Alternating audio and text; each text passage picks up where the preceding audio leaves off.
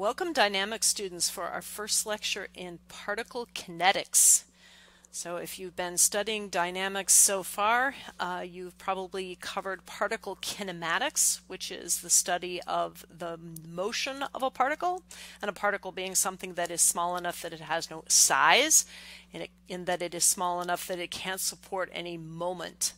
Uh, so it can be treated as uh, being in equilibrium if the sum of the forces in, is in equilibrium.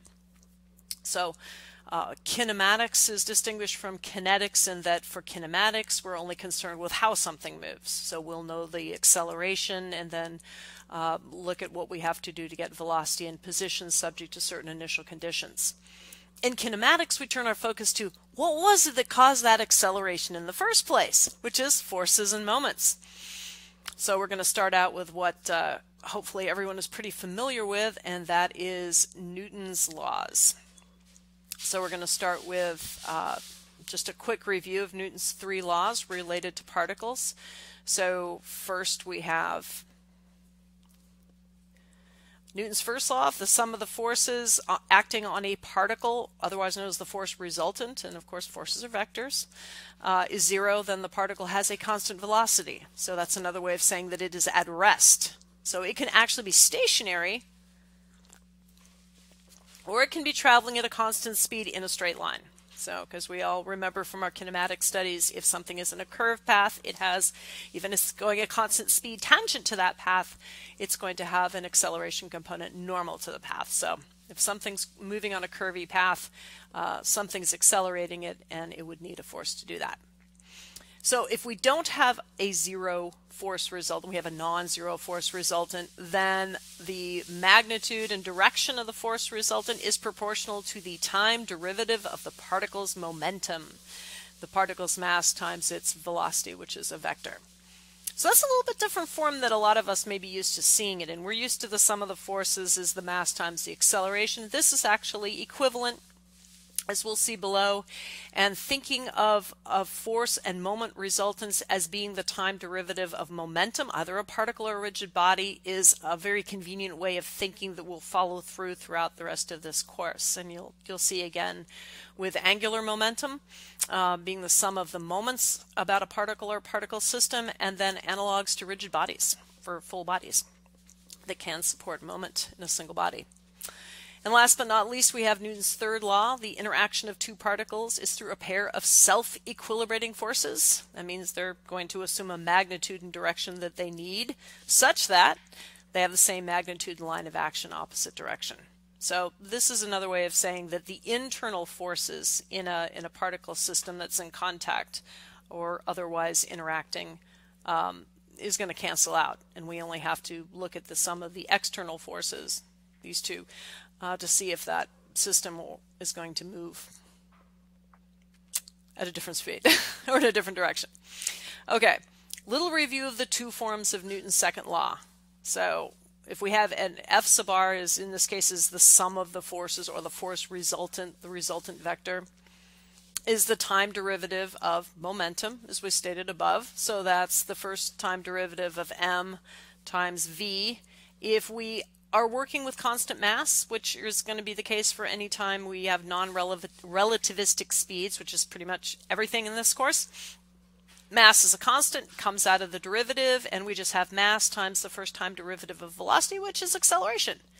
So F equals ma is analogous to F equals first time derivative of, in this case, linear momentum. There'll be an angular momentum analog to this with moment. Okay, the next step is to say, okay, this is great for particles. If I've taken physics, I already know this. So what's new with dynamics? Eventually, we are going to want to apply these things to rigid bodies. Uh, we're going to want to apply it to any kind of body, but we'll start with rigid bodies. So we're going to pull in Euler's law, which you may have seen in statics, um, but it's it is uh, concerns itself with with bodies as opposed to just single particles. So that really expands our, our repertoire of what we can do with this, which is what's useful.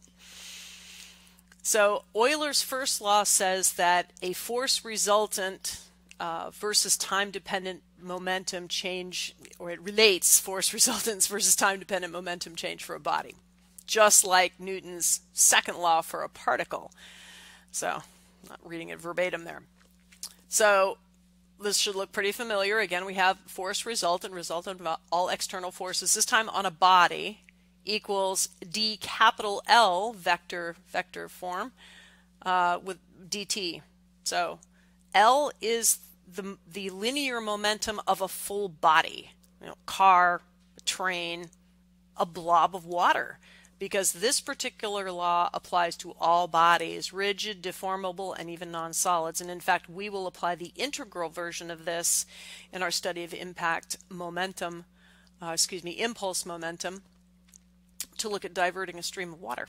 So definitely any any kind of body. And the one caveat is we have to take that time derivative in the inertial reference frame. So this says, hey, I can apply something that looks exactly like Newton's second law for particles to any body. Any body. So first time derivative of linear momentum of the full body uh, is going to be equal to my force resultant.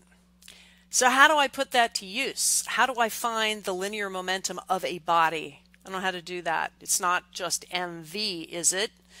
Kind of. Some of it and that's what we're going to get to next. How do we relate the linear momentum of a body to our, our known and loved mv for a particle? So let's take a look at a body out in, in space somewhere versus an inertial reference frame. So an inertial reference frame is one that is not accelerating.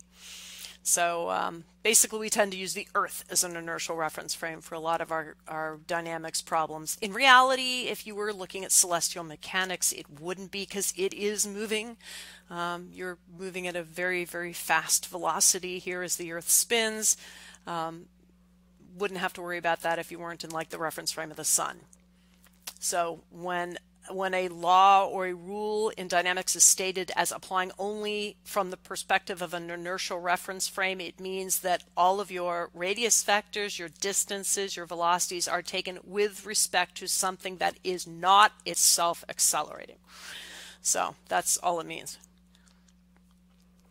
So we have point O in reference frame F, that's a squiggly F. So this is kind of, this is our reference point. So we got this body out here somewhere, and we're going to draw a radius vector. This doesn't have an arrow, but this is a radius vector from point O to a differential mass bit, dm, somewhere in the body. So if it had a constant density, this would be rho times dv, and that would depend on the shape of the body. But that differential mass bit is a point. So we can treat that like a particle. So if we wanted to apply Newton's second law to just that little differential bit of mass, no problem. Force resultant is equal to the velocity of that little differential mass bit times the dm of the mass, time first time derivative, no problem. Um, and by the way, the velocity of that mass bit with respect to O in our inertial reference frame here is given by V is just the first time derivative of the position vector, right? So the faster this r radius vector, position vector changes with time, the greater the velocity. So definition of velocity, time rate of change of position. So we've got everything we need to define linear momentum of this little mass bit. Okay. Well, we could define and, and, and kind of uh, see that the, the, the mo linear momentum of the whole body, L, is just the linear momentum of all of those little mass bits added up over the whole body, B. We could just integrate the velocity of each mass bit with respect to point O with you know times the, the mass of the mass bit, dm, and just add that up over the whole body. And if we had some kind of of uh, function that allowed us to integrate this, uh, we could come up with a single value. So for certain well-defined shapes, we could probably do that. Well, let's take a look at, let's do some substitution and see if we can find something familiar that we already know that might help us treat this, this body like a particle. We already said that velocity is equal to the time rate of change of position with respect to O, so d big R dt. So let's just insert that in the integral and rewrite it. So the linear momentum of our body, capital L, is the time integral of dr dt dm. Okay, now we got we got two differentials in here. We've got time and mass. Well, mass isn't changing with time. We already said that on the last page. So we can rewrite this integral to integrate the entire integral here with respect to time because the dm is like a constant with respect to time. So we can we can rearrange the integral without changing the intent, without violating the mathematics that we were expressing, or the concepts we were expressing with our mathematics, excuse me. Well, now this should look like something that's kind of familiar. Um, the integral over a whole body of the radius vector from a given reference point added up over the whole mass is equal to the mass of the body times the radius of vector from that same reference point to the center of mass. This is this is one part. This is usually the numerator part of the definition of center of mass. This would have like a, a integral over the body of just dm in the denominator. So this is the, kind of the top half of the center of mass, and if we multiplied it by the mass of the whole body, m, we could just replace this whole integral with m times the position vector of the center of mass. Nice! Ah, we're getting closer to a particle now. So the linear momentum of the body is the time derivative of the mass of the body, which we, we can probably figure out, times the radius vector from a reference point to the center of mass, which is another way. We can take mass out of that differential. And so now we just have the first time derivative of the position of the center of the mass, mass with respect to time. First time derivative of the position of the center of mass with respect to time is the velocity of the center of mass in that same inertial reference frame with respect to that point O. V sub c, we'll call it, velocity of the center of mass with reference to point O. We can take a second time derivative and get dl dt kind of like we had up here, which we could equate to a force, uh, a force resultant that maybe we could find from a free body diagram. Something, something more solvable. So we can take the first time derivative here, get velocity. Now we, we are equating linear momentum of a body to linear momentum of what can be treated like a particle, the center of mass of that body. We can take another time derivative and get dl dt and equate that to m d squared position of the center of mass dt squared second time derivative of the center of mass position which is the same thing as acceleration or a sub c acceleration of the point of the center of mass. All right. So what we've said now is by doing doing what we did is we can take a whole body rigid, deformable, whatever. And from the point of view of Euler's first law, we can equate the force resultant on that body to the mass of the body times the linear acceleration of the center of mass of the body. Now, if the body's rotating, that follows different rules. But right now we're talking linear acceleration. That's big L. There's a different symbol for angular acceleration of a body. That'll be big H. We'll see that in some upcoming sections. But if we're looking at translational motion, something's moving in a straight line, but now we can change its speed in whatever direction it's going. We can actually have it going, if it's not itself rotating, we can even have it going on a curvilinear path. But we can have a whole body moving kinetically, kinema, excuse me, kinematically, um, and treat it at its treat its center of mass the way we would a particle. Um, and of course, because the center of mass is just a particle, things like rotating, if you're a singularity or just a single point, doesn't make a lot of sense.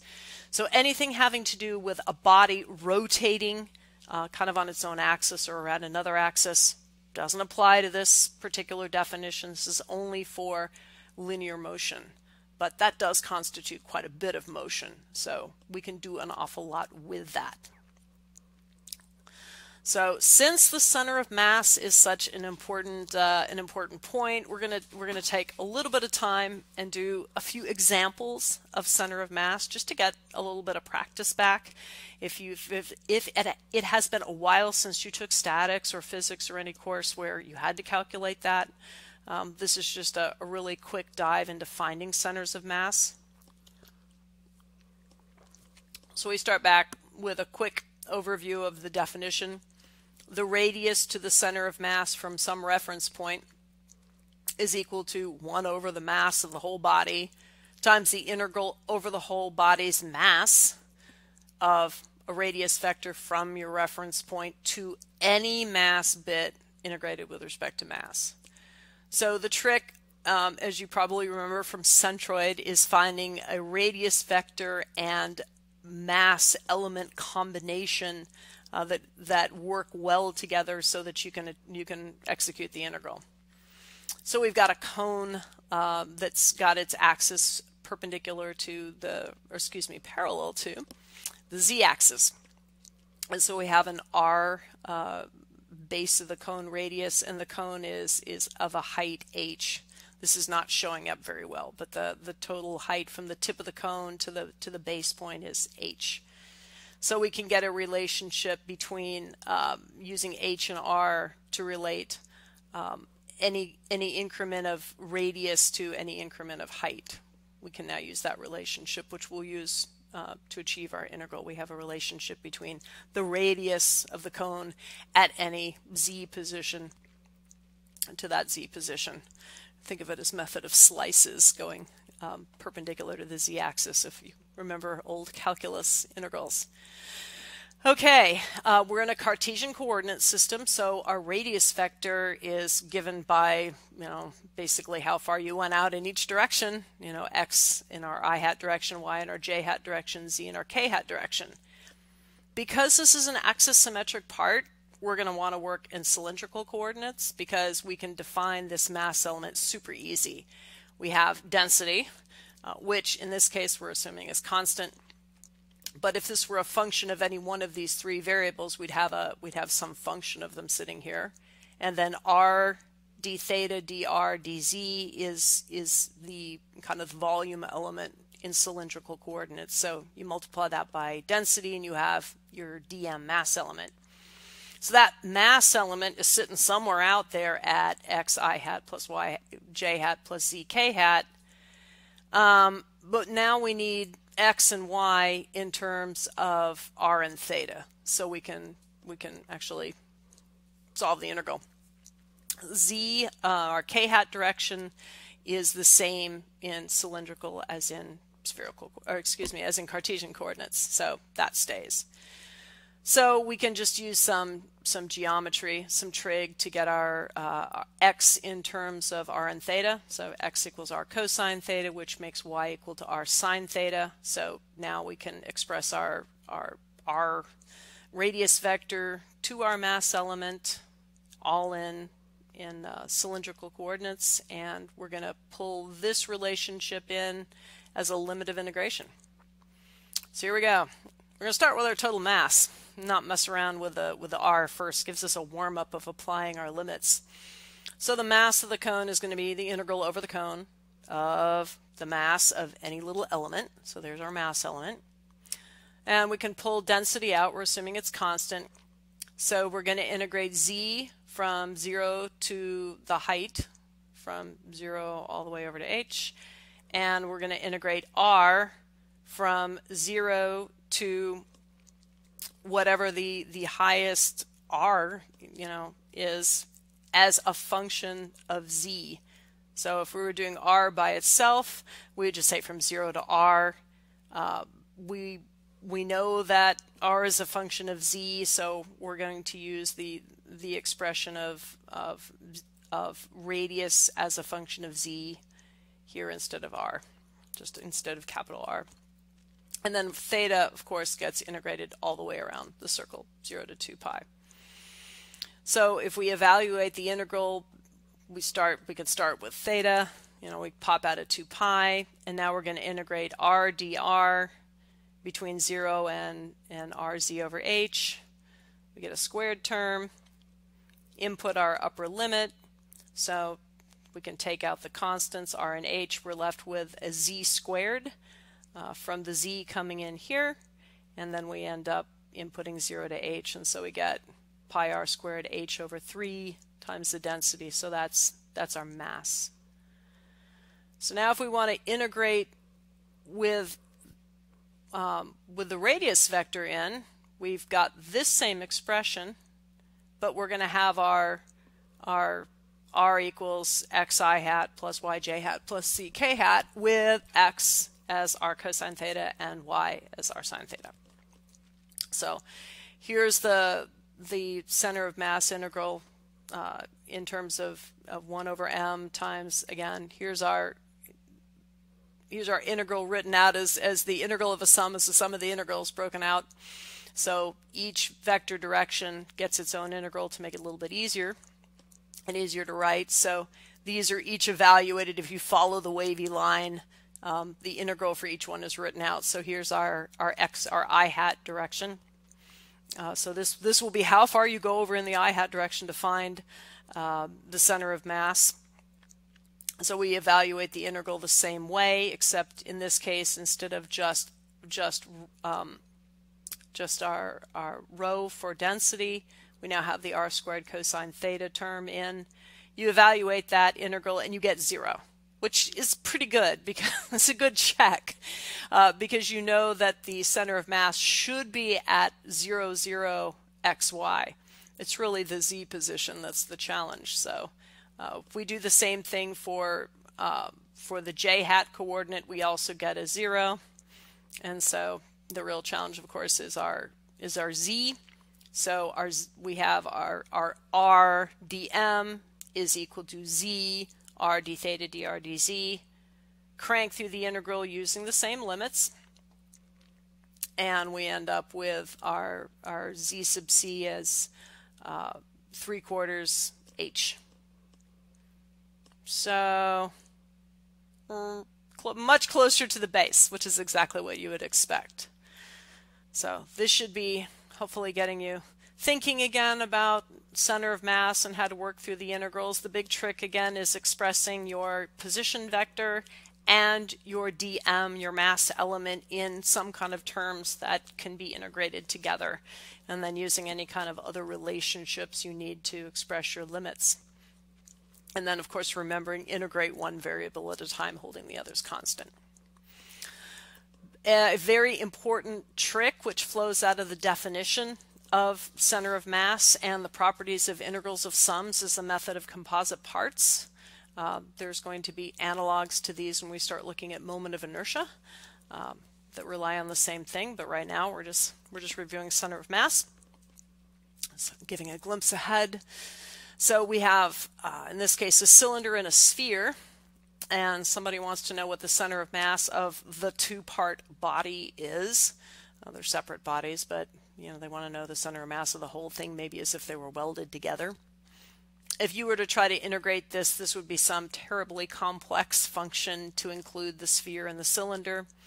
But instead, we can use the method of composite parts, which says that our, our the total mass times the radius from your, your reference point, which we've put here at the end of this of the cylinder, uh, equals basically the integral um, of the radius to each part divided by their total mass contribution or their individual mass contributions.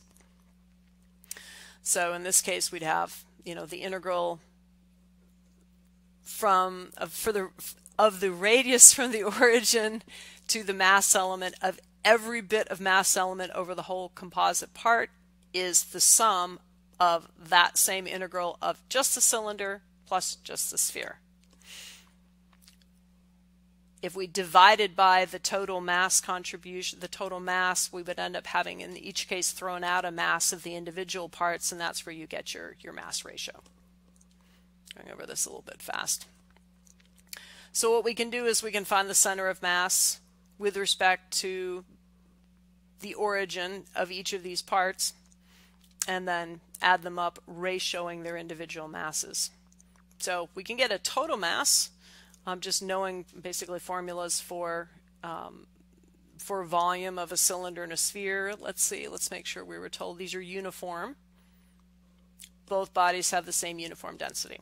So we don't have to mess around with uh, with an uneven density or differential density. So basically we're going to have um, our 4 thirds pi r cubed for the sphere, and then we'll have pi r squared times 5r for the cylinder. Total mass. So we can write that out in terms of each coordinate direction. So I'm just stepping through my notes here. So this expression on the left-hand side is the coordinates for the center of mass, which is the same as centroid in this case, hence the bars, uh, for the total system in each direction is equal to, and I've divided the mass total over, cylinder mass divided by total mass times the, the centroid or center of mass, same, same, same in this problem, for the cylinder, plus the mass ratio of sphere to the total mass, and then times the centroid location, x and y of the sphere. So how did we get the centroid location of the cylinder? X and y uh, is definitely going to be 0 in the y because we're going to want to stay on the axis of the cylinder and then we're going to go halfway down the cylinder. It's uniform density. So the cylinder is 5r long. Our x centroid is going to be at 2.5. So that's 2.5 here and 0. The sphere is going to have an x centroid at its center point. Basically, it's going to have its own its own centroid will be at its its center point. And so the centroid versus the, the origin here is basically going to be the location of the sphere center point versus the origin. So in the x direction, it's going to be one r up and then another r up. Or excuse me, in the y, it's going to be 2r up. And then the x, it's going to be 4r. So the, the x coordinate of where the center of the sphere is. So if I put, and here we have it, with the arrow showing that that's where it's being inserted in the formula, 4r and 2r. So if we just crank through and retaining uh, collecting terms for each coordinate direction and ratioing the total masses, we can get a, a radius vector from the origin point at 2.82 r i hat plus 0.421 r j hat. So somewhere somewhere right around here.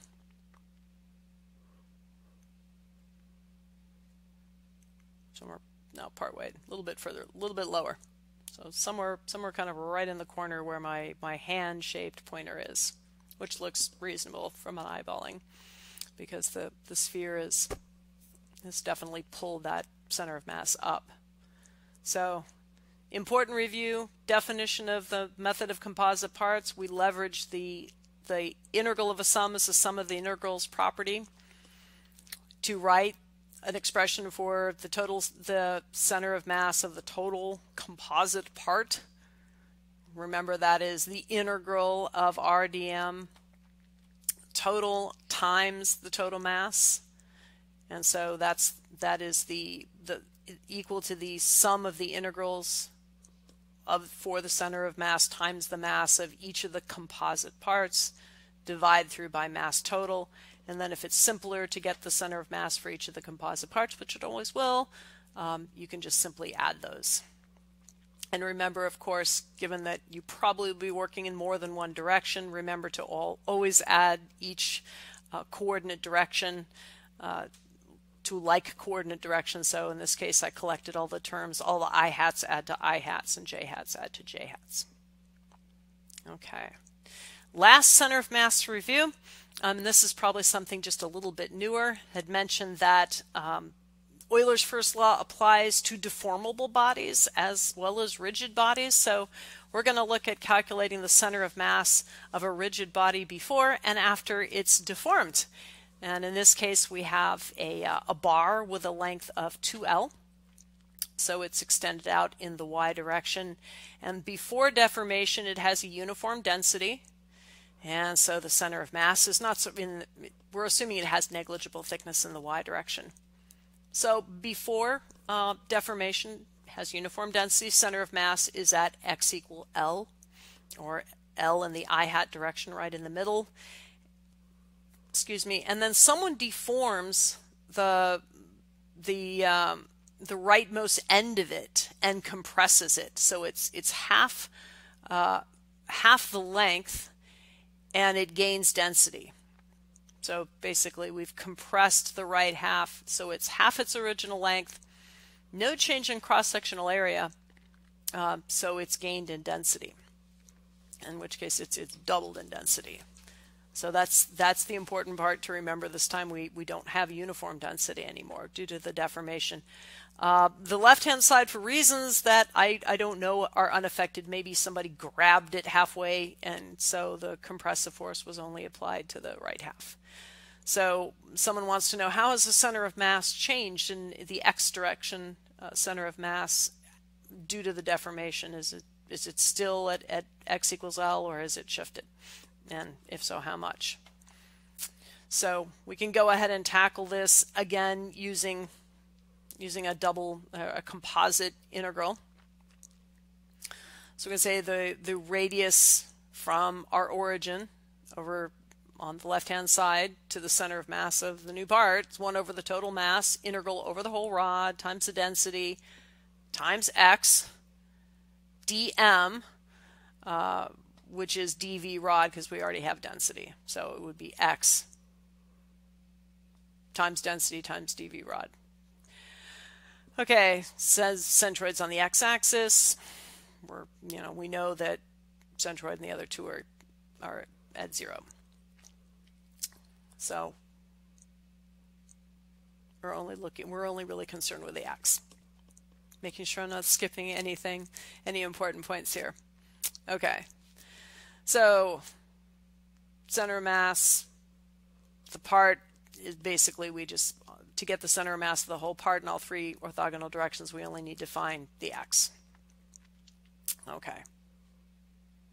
We know that the, the total mass didn't change from the undeformed. We didn't lose any mass, so our our m total here is easy. It's the it's the cross-sectional area times twice the length times the density. So that's basically density times V. So we have that. And before deformation, we can we can do a practice calculation and uh, and put this in as 1 over m, and we can calculate this integral from 0 to 2l and get this expression evaluated at 0 uh, and, and 2l, and we can end up with l. So that's reassuring since we could see that by observation. After deformation, we're going to use basically a composites part. So we're going to look for the center of mass of the undeformed portion, which is this left-hand expression in parentheses. So we have area times the integral from 0 just to L. So we're going to in integrate from 0 just to here of this body, find its center of mass, which not surprising better be at L over 2. So we're going to have x rho dx, and by integrating only from 0 to L, we're only taking that, you know, half of the bar. Then we're going to add that to the area, cross-sectional area is unchanged, A in both cases, and we're going to integrate the new doubled density, 2 rho x dx, from L to 3L over 2. And so this is with reference again to the origin, not from L over not from from 0 to L over 2, but from L to 3L over 2, because everything is we're referenced back to the origin. So our limits of integration are effectively defining the length over which we're going to integrate um, the x position times the mass of our new of our new bar. So we just integrate uh, with respect to x, and we end up getting uh, 5 times the area rho L, L squared over 4. And of course we have our area L squared L over 2 here. Divide through by the total mass, 2AL rho. And we get 7 eighths L. So we did change the, the center of mass by 1 eighth of the length. So it shifted from here to a little shy of there. So we have the same mass you can think about it, you had the same mass in this bar. You didn't take any away, but you moved more of it closer to the origin. So the center of mass of the composite body uh, was closer to the origin. So this is a nice example of the method of composite parts used to deal with density differences. So if you have an area in a, in a single monolithic body that has different densities, no problem. If you know where those density regions are, you can just break the integral up into, into the sum of your radius vector from your point of reference to whatever mass point that has that density. You just have to be able to define that region with limits of integration like we did here. Okay. That is it for this lecture. So just to recap, what did we do? We reviewed Newton's three laws of motion for particles. We admitted that someday we'd really like to move things other than particles and that we're looking ahead towards bodies.